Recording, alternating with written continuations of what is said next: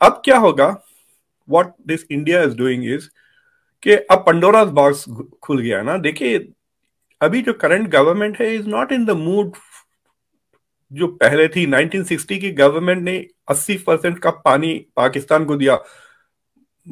अब ये जब अगर ट्रीटी खुलेगी, वो नहीं मिलेगा। India is not going to agree to give 80 percent of the water uh, to them and thinking what why why did we give uski logic mujhe samajh mein nahi aa rahi uh, so so i have a feeling that india has decided that dekho enough is enough we need to go and clarify some issues in बहुत ही clearly लिखें कि this can be done that can not be done ताकि because अगर आपको याद है अमित शाह ने कश्मीर में जाके कई प्रोजेक्ट्स अनाउंस किए कुछ सोलह हज़ार करोड़ के प्रोजेक्ट्स वगैरह So India is going to try to harness this is green energy ना ये sustainable alternative source है हालांकि उसमें कोल खर्च होता है थोड़ा बहुत but but it is the cheapest way not much मतलब थोड़ी बहुत energy but it's a much cleaner way of generating energy so there will be more projects from india once this thing gets going india ka private sector bhi काफ़ी अब wealthy हो गया है is they start privatising मेरे, मुझे नहीं पता कि ये गवर्नमेंट है प्राइवेट है प्राइवेट गवर्नमेंट का मिलके दोनों है। So so there can be many more projects in that area तो I think India wants to open the treaty and say देखो, बासठ साल हो गए, हकीकतें ज़मीन पर ground realities have change environmental challenges have changed वो जो डाइवर्ट कर रहा है India it it has got to do something with जो मिट्टी जमा हो जाती है ना नीचे उसके लिए so there is an environmental reason why they want to divert the water from one tributary to another tributary पानी तो जा रहा है it's just coming in a different way so that is the principal objection from Pakistan for the Kishan Ganga project तो India का जो dam है 70% of the water is is generated in Pakistan for that river जो Kishan Ganga it's a tributary है वो। तो अगर India उसको जो यूज़ कर रहा है seventy percent of is water is generated after the hydrogen hydro project जो इंडिया हाइड्रो इलेक्ट्रिक प्रोजेक्ट के बाद होगा। सो काइंड ऑफ़ पजल के भाई ये क्या व्हाट इज़ ऑब्जेक्शन पानी तो आपके पास जनरेट होगा आप यूज़ कर लें। बट यहाँ पे जो हो रहा है it's only thirty percent of the original volume of the water so मुझे मैंने आई वॉज़ क्वाइट इरिटेटेड जब मैं पढ़ रहा था। मुझे लग रहा है कि दे आर जस्ट प्रिवेंटिंग खुद भी कुछ नहीं कर रहे हैं and they are preventing others from doing developmental projects India हम थोड़े से जरा जेलस हो गए हैं जरा जल भुन के कबाब हो रहे हैं इस वजह से।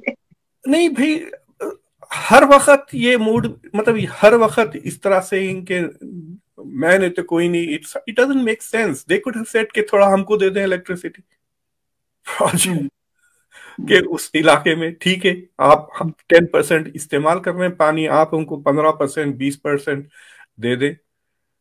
एक्स्ट्रा इलेक्ट्रिसिटी डाइवर्ट कर दे उसे। And something like that could have been arrange India would have gone forward and made these things ना India has already invested money in it देखिए, अगर आप प्रोजेक्ट में इन्वेस्ट कर रहे हैं प्रोजेक्ट रुका हुआ है, पैसे खर्च हो रहे हैं so they want that thing to go it will improve the electricity जो प्रोड्यूस हो रही है रैचल का मैं पढ़ रहा था 850 watt it is going to improve the quality of life of people in Kashmir Jammu and Kashmir में. तो तो that is the issue I don't think it has election value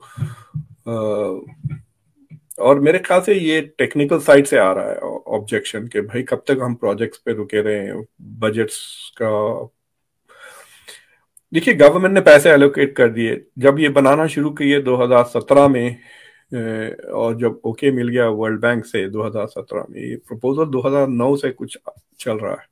objection Pakistan ने 2015 में किया went to the world bank तो once they started अब तो किसी like the government will budget the money and the money has been gone अगर आप inflation को ऐड करते गए, अगर बजट प्रोजेक्ट वो सपोज़ टू एंड से 2018 में, अब 2000 तेईस हो गई है, पाँच साल और रुक गया है।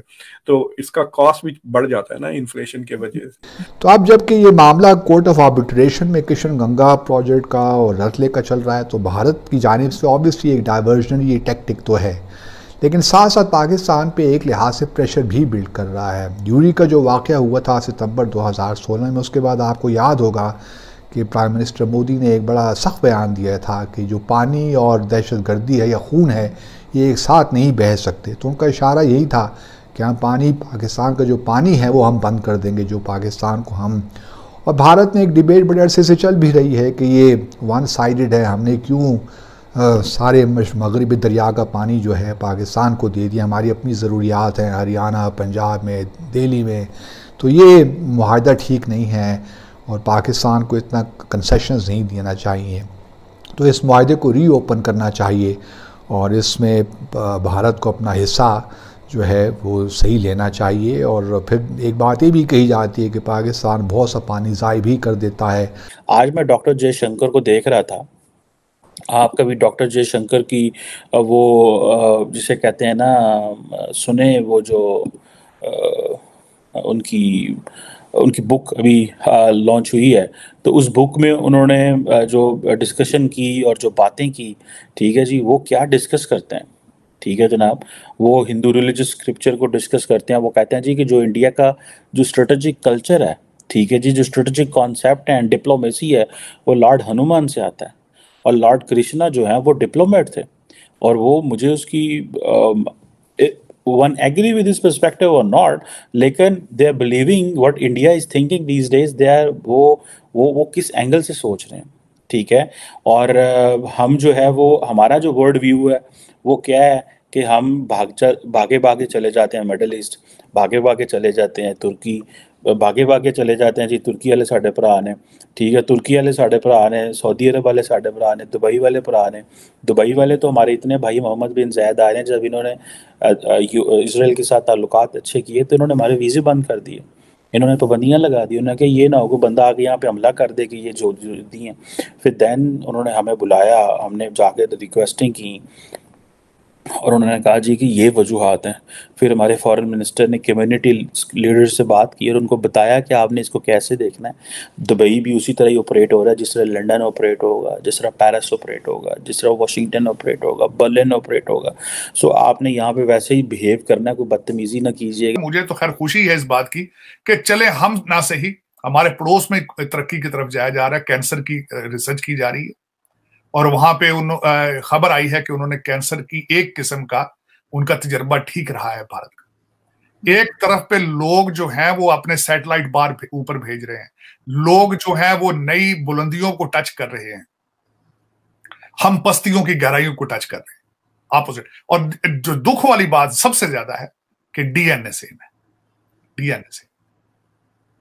आज आपकी मैं तस्वीर खींच के आरज़ू किसी चैनल पे लगा दूँ कि आप you were born in Mumbai you are you are from Karnataka तो कोई कह नहीं सकेगा क्या? हमारा डीएनए खाना एक है सोच एक है आ, हर चीज़ एक है। लेकिन क्या वजह है? क्या वजह है? कि छिहत्तर साल से धोखा है एक।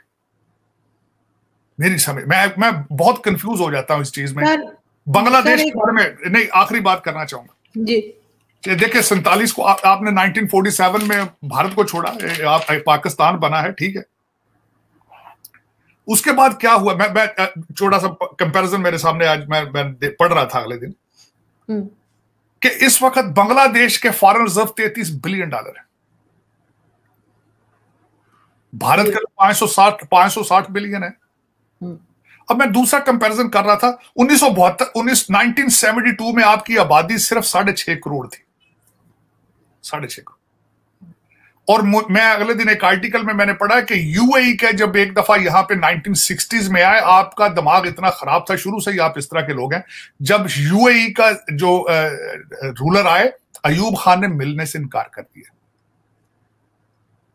फिर उसके बाद मैं आपको बताना चाहता हूँ कि किसी को पता नहीं है आज तक कि जो जो एमरट्स है एयरलाइन उसका जब कोड देखा जाता तो ई e के है उसका। ई से उसका ई से उनका वो बनता है एमरट्स। के कराची का है। क्योंकि कराची में बनाई गई थी। पीआईए के दो जहाज़ दिए गए थे जब एमरट्स बनी थी।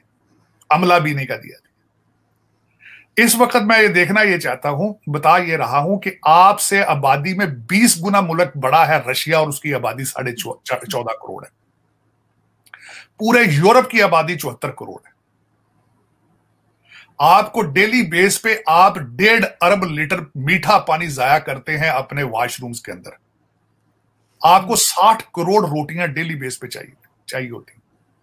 एज ए नेशन आपका मिजाज क्या है? You are anti business you are anti progress you are anti social दूसरे आपके माटोज क्या है? आप, आपकी आपकी फिलासफी क्या है? जो खुश इखलाक होता है, उसको कहते हैं मुनाफिक है। तरक्की जो कर रहा होता है, उसको कहते हैं खुशामदी है। हम्म। जो बिजनेसमैन है उसको कहते हैं चोर है ये।